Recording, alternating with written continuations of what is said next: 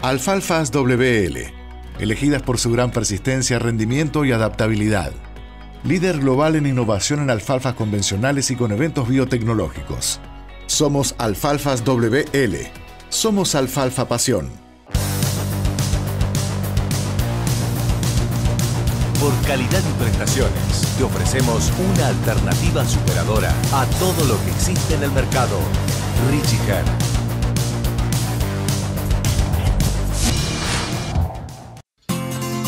Somos KWS, especialistas en genética y agronomía para tu campo. Esta campaña sembra la nueva generación de híbridos KWS, la revolución genética en potencial, sanidad y estabilidad. Vos elegís KWS Argentina.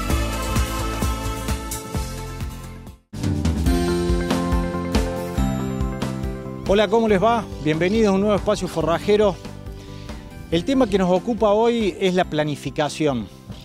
Ya estamos eh, teniendo claro qué vamos a sembrar para hacer los silajes energéticos, entonces hoy es el momento de planificar.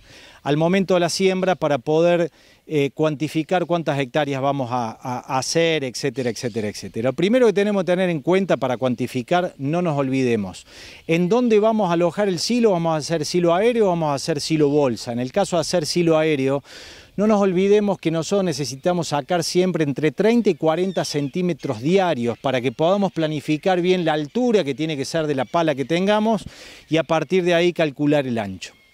También en el tema de las mermas, tener en cuenta que la bolsa tiene merma. De lo que nosotros calculamos, es conveniente calcular entre un 10 y un 15% menos porque independientemente de la calidad de la bolsa, condiciones climáticas y todo, siempre tenemos alguna merma. Entonces ahí siempre es muy bueno calcular ese 20% de excedente. El otro punto a tener en cuenta para minimizar pérdida es el tapado. Cuando nosotros medimos merma a los 45 centímetros, la pérdida pueden ser de 23% tapado versus un 45% de pérdida de materia orgánica sin tapar. Y si nos vamos casi a un metro de profundidad, la diferencia está entre 4% la merma en los hilos tapados versus un 14% los hilos que tienen una merma de materia orgánica cuando no se tapan.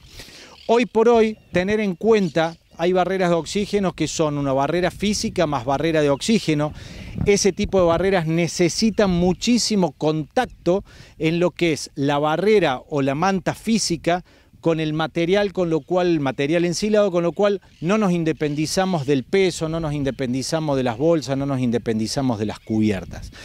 Pero tengamos en cuenta que existe también otra tecnología que es un film de 40 micras, que en algunos casos se ve transparente o transparente verdoso, que va por debajo de la manta física, es mucho más maleable y que tiene una huella mucho menor en cuanto, al, reciclado.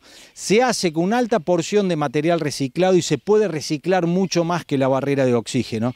Y en ese caso tiende a ser bastante más eficiente porque copia al milímetro todo lo que son los micros relieves de este silo y además corre menos riesgo de rotura porque arriba tiene su manta física.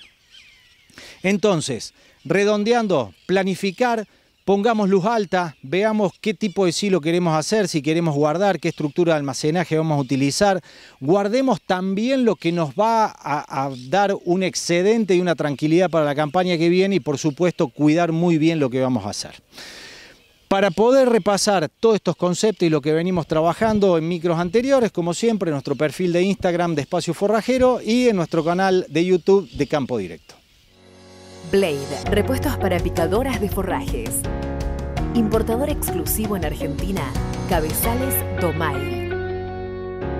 Blade, en todo lo que hacemos, crecemos juntos.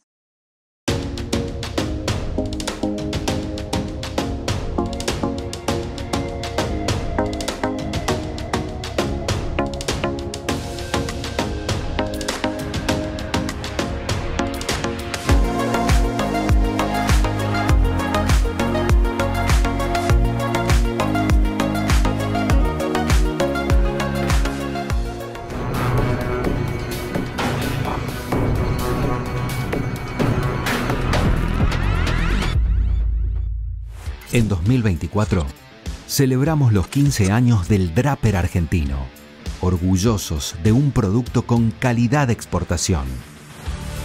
Sumate a nuestra comunidad. Pierre Santi. Buenas cosechas.